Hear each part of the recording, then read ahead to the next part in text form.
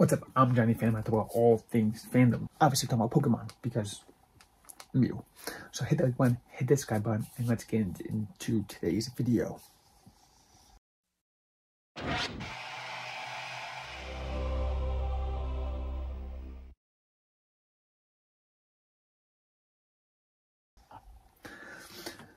So, don't mind this flow chart. That's my Duckverse timeline. If you want to know what that is, go to the rest of my videos and go find it. Anyway, let's talk about Pokemon. Now, Dragonite, one of the greatest Pokemon of all time. He's an awesome dragon, and he's one of the original, quote unquote, legendaries that we got. In the original game, legendaries weren't really a big thing. It was kind of it's like, okay, Mewtwo's the legendary. You have Zapdos, Moltres, and Articuno with the legendaries. But in a sense, Dragonite was another legendary because it evolved from Dratini. And the only way to get Dratini it was paying a crap ton of coins in the casino or catching it very hard to catch it in the Safari Zone. Since Dratini is so rare, Dragonite was even rarer because you had to catch Dratini to get Dragonite, and there was no Dragonites in the wild. Of course, Lance has one, so it's not like super duper rare, but in the original anime, the first few find out about this legendary Pokemon. We go to Bill's lighthouse, and you see this giant, I mean, giant Dragonite, like 30 feet tall Dragonite, walking through the ocean towards the lighthouse. And then waited on that road, we see other Dragonites, like in the Pokemon first movie, Mew versus Mewtwo, we see a Dragonite Dorfit male, and it's just this common Pokemon at that point. So that drag that original Dragonite was 30 feet tall, and the other one, even the one that Ash has right now in Pokemon Journeys, is only like nine feet tall. Why was that Dragonite so big? Why was that Dragonite so rare? Was it even a Dragonite? Well, if you look side by side,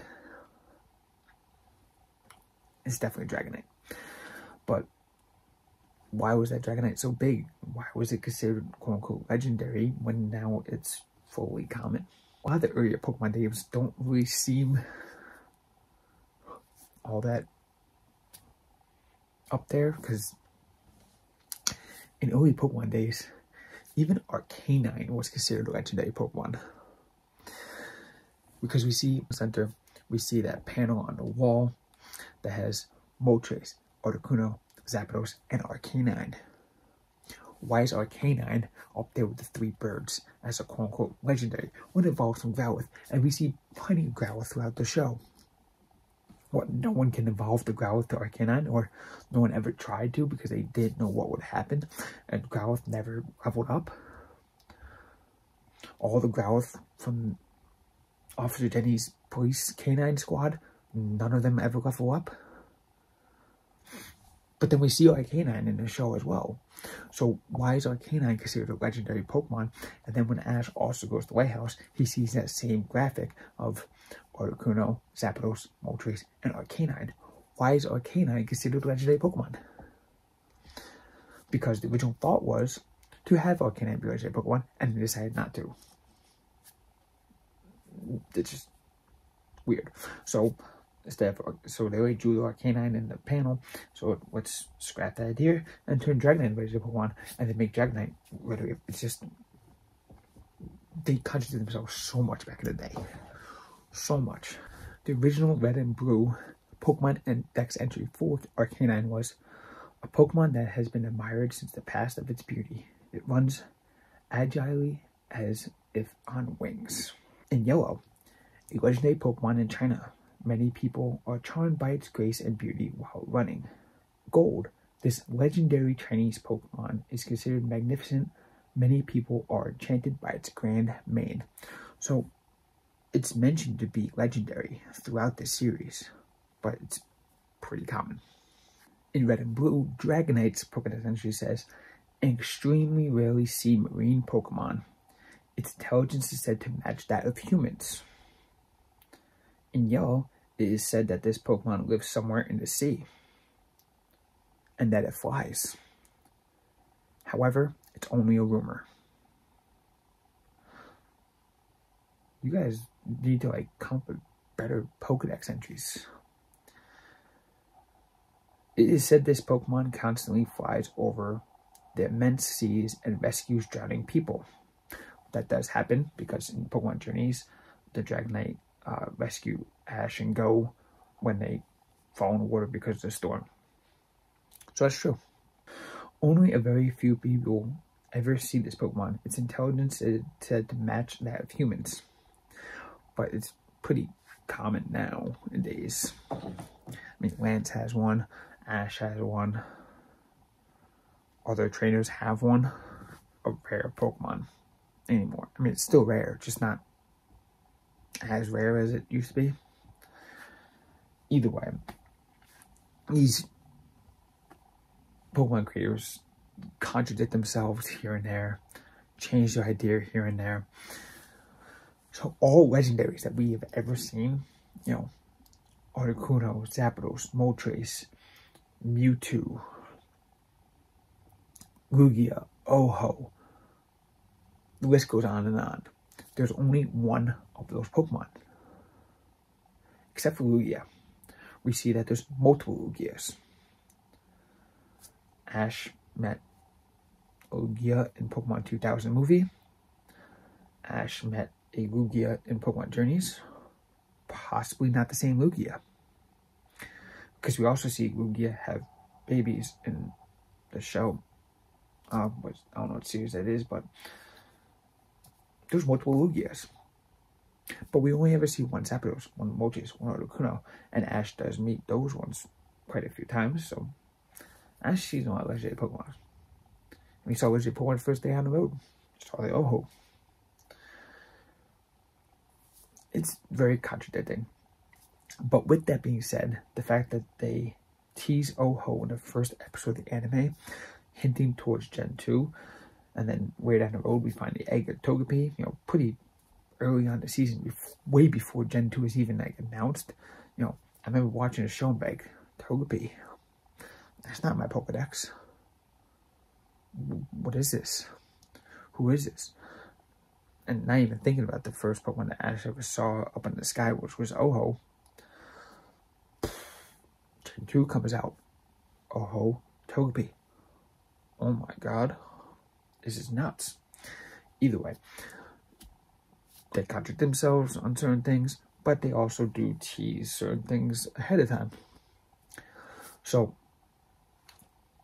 in one episode, we see the visual series episode number 19, Beauty and the Beach. There is a giant, I mean, giant Tentacool,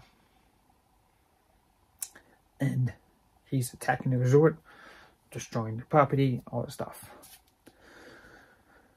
Tentacool normally isn't that large, but this thing is ginormous, and nobody ever like really says anything like, "Oh, it's a Tentacool." Okay, but all the other Tentacools you see were not that big. And then you and uh, Brock and Misty see the Dragonite at the tower, ginormous Dragonite, and then you see a Dragonite way on down the road, and it's like, oh, it's Dragonite. Isn't that the Pokemon we saw at the lighthouse? Why is this one shorter? No, they don't think of it. But what if the creators are hinting more towards other stuff? We have the hints towards Gen 2 with Togepi and Ho-Oh and other hints throughout the, the series. I haven't watched all the series because I don't like Ash's other partners. Brock and Misty, awesome. Awesome group.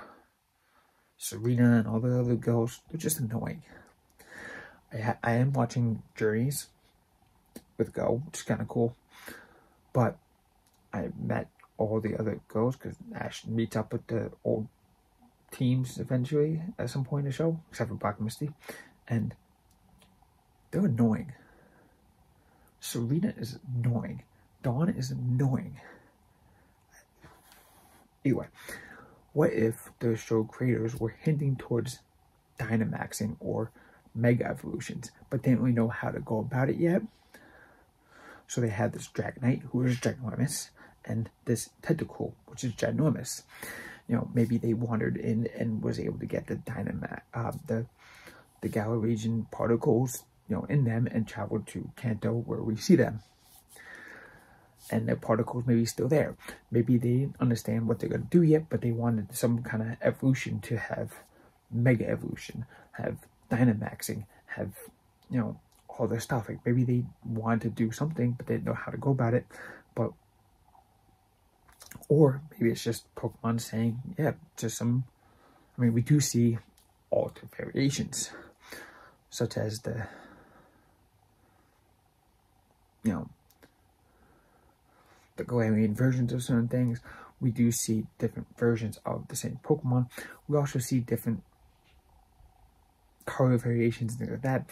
So there very much could be a, just a giant Dragonite living in the ocean and a giant Tentacool where all the other. So I don't know.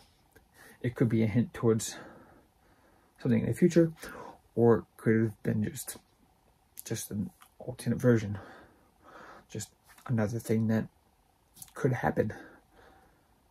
I mean, there was reports of real animals in our in our world that you know the world record of the longest snake or whatever like that. It's like these alternate versions can happen. These alternate variations can happen. So why not in Pokemon? Either way, I'm just going on a rant here. I feel like this video is just me complaining about Pokemon. Either way, hit that one, hit this guy button. Thank you guys so much for watching. Check out my merch store down below. Hit that join button. Check out that Patreon page. Check out that Spotify. I got a ton of great content.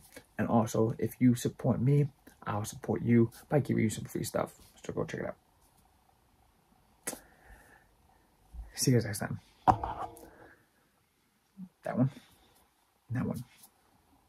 Oh, you want me there's a video there, and there's a video there.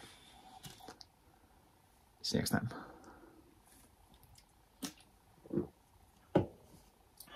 That is one crazy theory.